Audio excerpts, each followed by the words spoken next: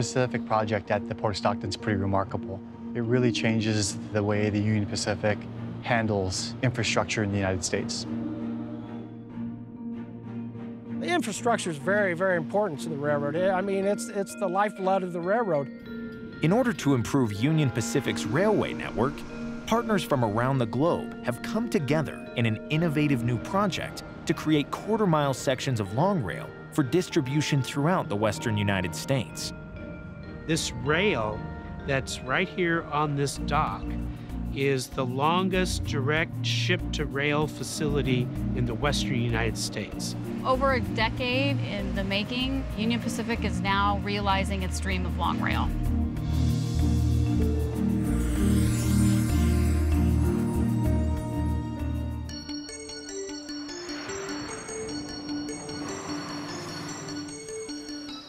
The journey of the long rail starts in Japan, where Nippon Steel and Sumitomo Metal manufacture railroad track.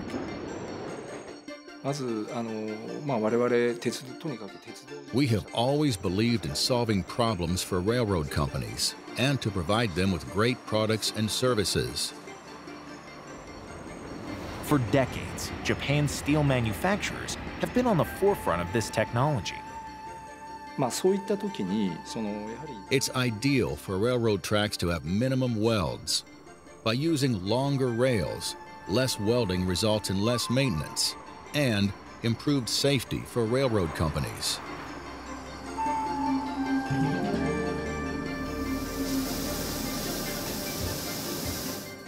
Rail tracks 150 meters long are forged at the Nippon Steel and Sumitomo Metal Foundry. Then they are transported to the Port of Stockton, where three sections are welded together to create a single long rail, 450 meters long, roughly a quarter mile in length. Previously, it took 18 sections of 25 meter track welded together to create the same 450 meter length of rail. Now, it only takes three sections of 150 meter track. You hear of the concept, and it's hard to imagine knowing the physical nature of steel and how it is so rigid. It's quite impressive.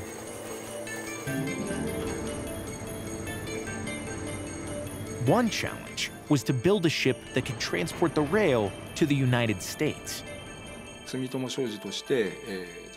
Sumitomo partnered with a shipbuilding company to manufacture the Pacific Spike, a 189 meter ship that is named by our partner and customer, Union Pacific. Pacific Spike is a uniquely designed ship that has a um, hold down the middle of the ship that is open 508 feet long. What I would call a normal ship, no hold is 508 feet long. Building this ship made it possible to deliver the longer rails. It's truly a fantastic ship. The 150 meter rail sections are carefully loaded from the dock in Port Yawata onto the Pacific Spike using three synchronized onboard cranes. Before setting out across the Pacific for the Port of Stockton.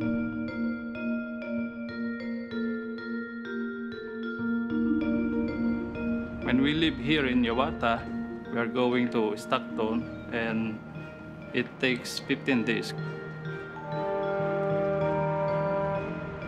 It is not dangerous, but uh, it depends on the weather that we encounter.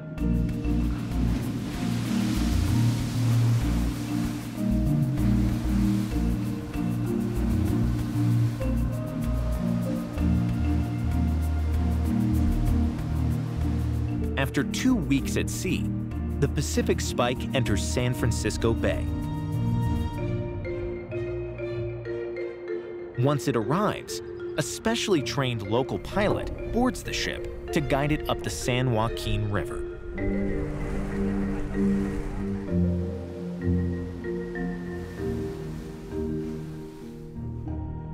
Navigating on the San Joaquin River is, is a very unique type of piloting.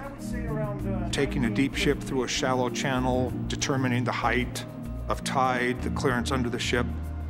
That's our job.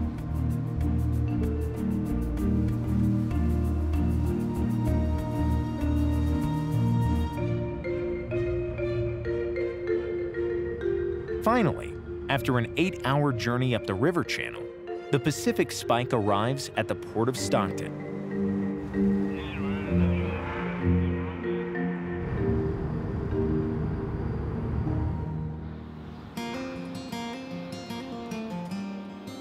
The rail sections are then carefully offloaded and taken to a specially constructed welding facility at the port. The Port of Stockton has true on-dock rail. They are able to discharge their cargo onto specialty-made rail cars and within 30 minutes have it transported to their rail welding facility located on the Port of Stockton. It is there where three pieces are welded together to form a continuous piece of a quarter mile long rail.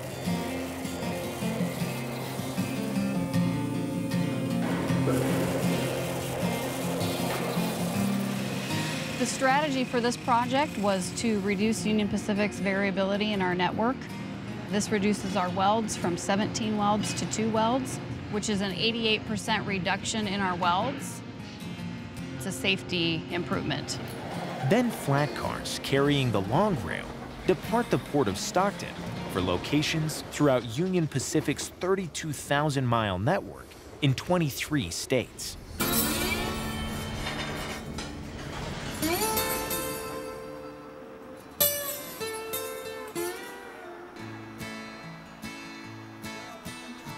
Today, we're right here by Bowie, Nevada. So we're probably doing about a mile, mile and a half today, taking out the existing rail and putting new rail in.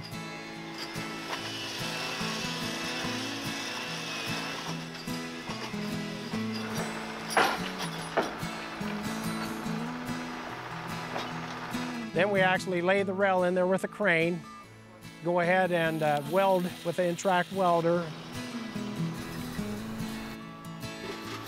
We spike it up and anchor it up behind that.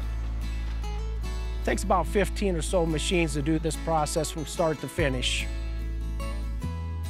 It's absolutely like a synchronized ballet, if you will, of things that need to come together, need to happen, and everybody plays their important role.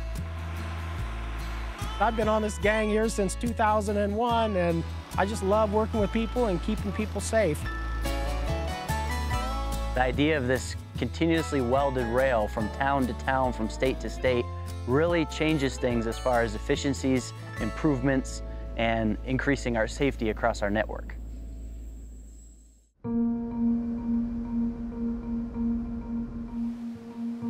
Union Pacific could have located this project in a few different places, and at the end, they chose the Port of Stockton.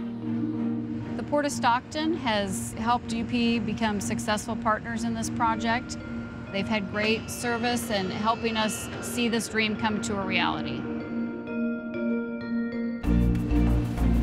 It takes a journey of 5,300 miles, anchored by the Port of Stockton and enabled by global partners to bring the long rail to its final destination. Helping Union Pacific ensure a high level of safety and efficiency for years to come.